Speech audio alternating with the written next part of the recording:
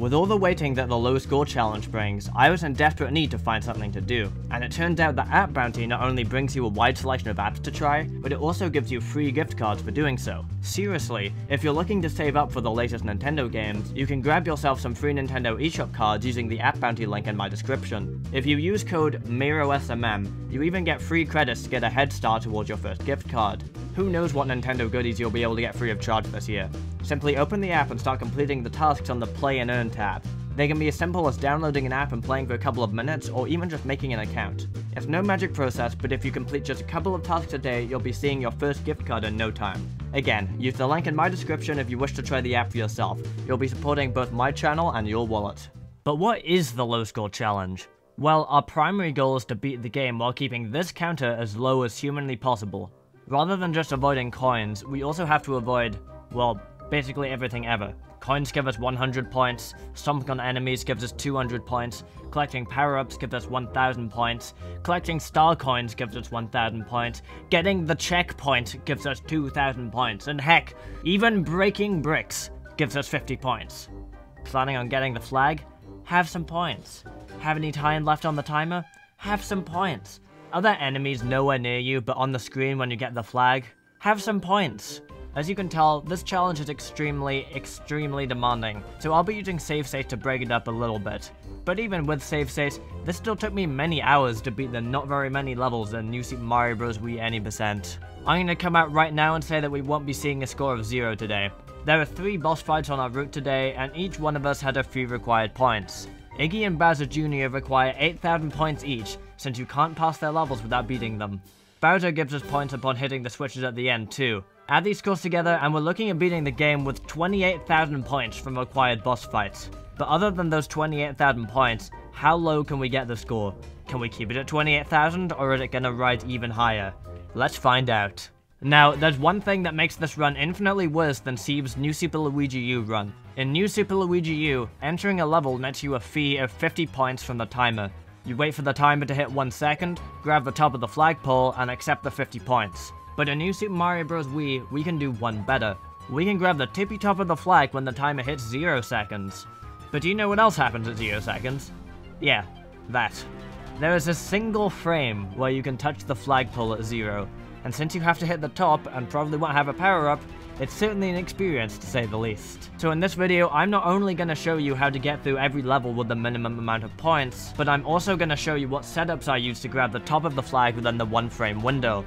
Starting at 1-1, the path to the flagpole is easy enough. It's exactly the same as it is in the coinless challenge, since we need to enter 1-2 without any power-ups for reasons I'll explain later.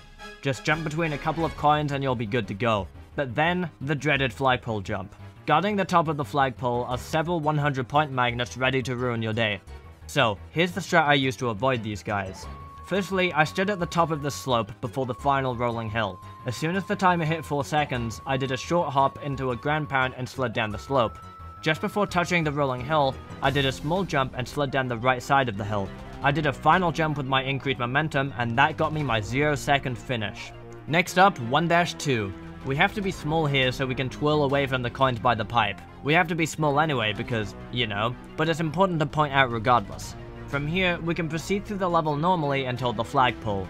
This time, we have to come up with a flagpole setup involving this tilt lift. I tried utilizing the motion controls, but honestly it was way too tedious. So instead, it was time to work out how to do a triple jump.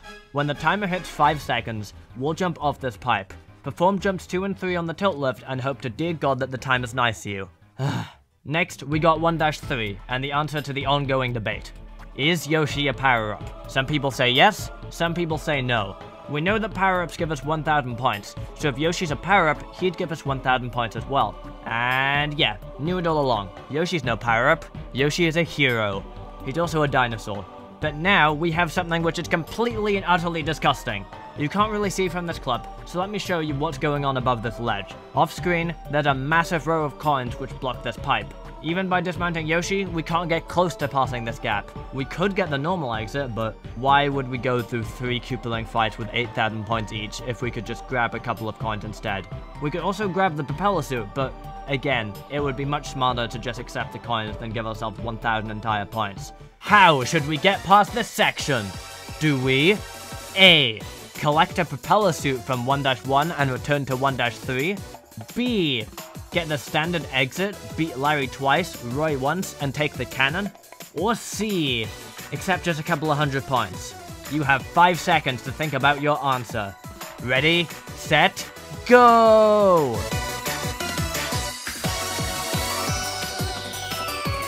Time's up. The correct answer was D. Don't get any points. This is the low score run. Why do you want more points? What is the point in that? I've talked about this in an older video, but I think it's important to explain a little better. In New Super Mario Bros. Wii, Yoshi is pretty broken. To stop Yoshi from being totally overpowered, you lose a lot of forward momentum while fluttering. However, if you already have momentum, Yoshi never loses any in the air. In other words, if you build up speed on the ground, you can let go of the D-pad in midair to retain a crap ton of momentum. Although fiddly, you can use this momentum to reach the secret exit pipe without collecting a single coin, and without grabbing the propeller suit. And for the sake of not being accused of using hacks to get past, here's a clip of me doing it without actually being able to see. Awesome. Now we just gotta... Oh. It's not possible to reach the top of the flagpole without Yoshi. Well, that was a massive mistake. Thankfully, we're not completely screwed yet. We haven't played a game of power-up panels. While it's true that using a power-up nets you a thousand points during gameplay, using power-ups on the map is a whole other story. Match a propeller shroom and bam, we can fly. This allows us to easily clear the gap in 1-3 and we can prepare our next flagpole setup. We'll be using this setup on most levels from now on, so pay close attention. Stand next to the base of the flagpole. When the timer reaches 2, activate the propeller and aim to hit the top. It's fiddly at first, but it's way more consistent than the other methods we've talked about so far. Assuming you don't get the coins and the cannon, you can move right on to 5-1. Although 5-1 isn't really a threat, the path to the fortress is a complete nightmare. Upon clearing 5-1, our only path forward is through the Stalking Piranha Plant ambush. Collecting the 8 toad balloons in the stage automatically kills all the Stalking Piranha Plants and we're left with a mandatory 2400 points. We gotta find a way to optimize our world map movement to dodge this guy and retain our propeller suit for later on. So just dying in the ambush isn't gonna cut it. So what do we do? We beat 5-1 for a second time. Doing this opens the path to 5-2.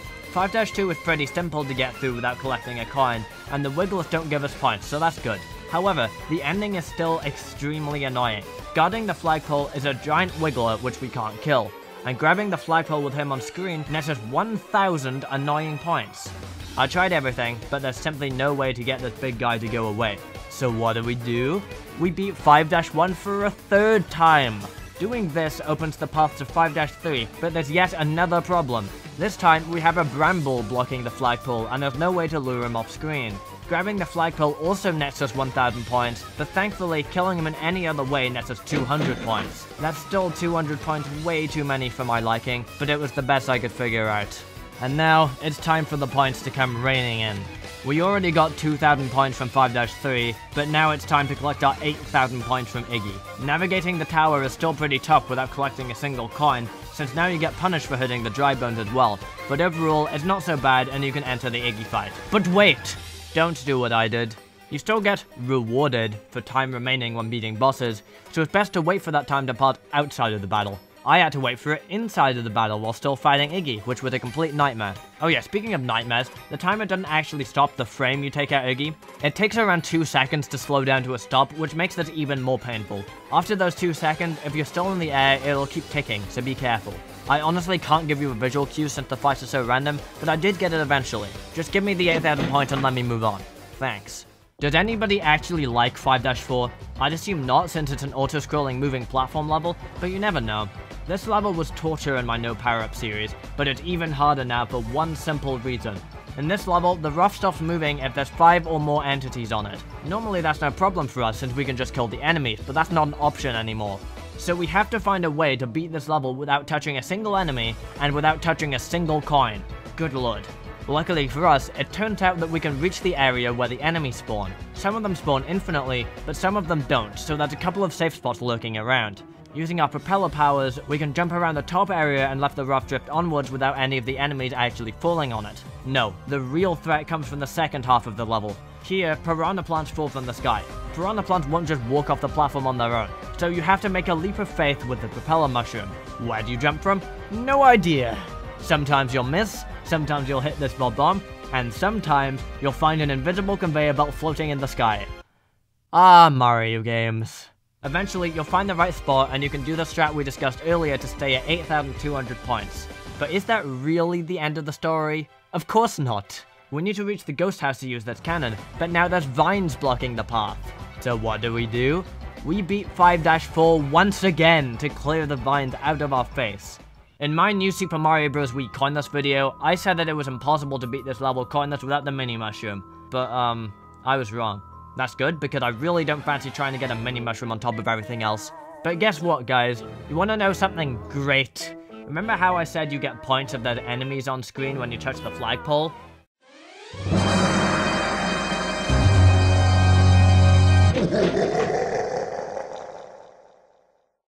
After what we just saw, it's hard to argue that New Super Mario Bros. Wii is better than New Super Mario Bros. U.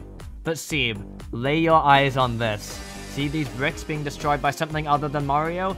See my score? Yeah, never forget it. Aside from that, 8-1 is still really hard. Since we can't get coins or kill enemies, we have to be really sharp here. There's also a bunch of ninja coins which punish us if we stand in certain places. 8-2 is pretty nice to us, but the secret exit is extremely hard to overcome. In the Coinless challenge, you can just use the mini mushroom to get through here with ease, but using a propeller suit isn't quite as fun. You can't run below, you can't jump below, and you can't go over the top because that's where Bowser hides his coin stash. You gotta awkwardly hover around the coins instead. As soon as you reach this power block, it's basically free, but until then, good luck. Ah, 8-7. I've already discussed my distaste for this level in my coinless video, and honestly it's not all that different here. We have a propeller suit rather than the mini mushroom this time, but it's honestly a lot easier this time around. It's basically like how I did it in my new Super Mario Bros. Wii Coinless series. We have to take a little look at the goal again though. This time around, we have to awkwardly ground pound onto the base of the flagpole. Since we're a little higher up, the visual cue is a little different than in previous levels. Personally, I try to activate my flight just as the timer hits 1 second. And now it's time to eat up another 8,000 points from Bowser Jr. But before we do that, we gotta make sure we can get through with airship without any additional score points. It's pretty easy to get through the first section, but things get complicated after the pipe. You gotta try and time a triple jump and activate your flight at just the right time to reach the other side. After sliding around the second half for a bit and playing with the questionable coin hitboxes, we reach Bowser Jr. Ah yes. Trying to finish with 0 seconds on this clock is truly a great experience. Such a great experience that you'll be experiencing it forever. Seriously, I couldn't get the time to stop on 0. So I decided to dig a little deeper, and I came across this tool-assisted run of the exact same challenge. I was relieved to see that this person also had a score of 22,200 points, but I noticed that they also couldn't stop the timer on zero. It seems very strange to me that the game won't allow you to end the fight on that frame when it works just fine in the Iggy battle, but regardless, we'll have to accept an additional 50 points if we want to reach the final castle. You know, I really hope there's no, like, weird complication that's gonna stop me from getting through. Uh because uh, every time I say that I hope there's not gonna be anything blocking my path, there's always something blocking my path, almost as if this is scripted or something. Like, imagine if we like got to the end and then there were coins blocking the pipe. Oh look, there's coins blocking the pipe. But we don't have a mini mushroom. So, there's a massive problem. We screwed up. On our route, there is one level containing a mini mushroom. That level is 5-Toad House, but no matter how many times we recomplete 5-1, we will never be able to avoid the stalking piranha plant on the world map. That is, unless we have a star. If you use a star on the world map, you don't have to go to the enemy ambush levels. So, how do we get a star on the world map? Not the star house, would have to deal with this monstrosity in 1-3. No, the place we get a star is the red toad house in World 1. Remember when we grabbed our propeller suit? Yeah, there were stars in that too. Stars which we simply don't have right now. And there's no way for us to go back and get one, since the Toad House is long gone. So yeah, we're forced to get coins in our run, but the proven lowest possible score is a little lower, since you can use the mini mushroom instead.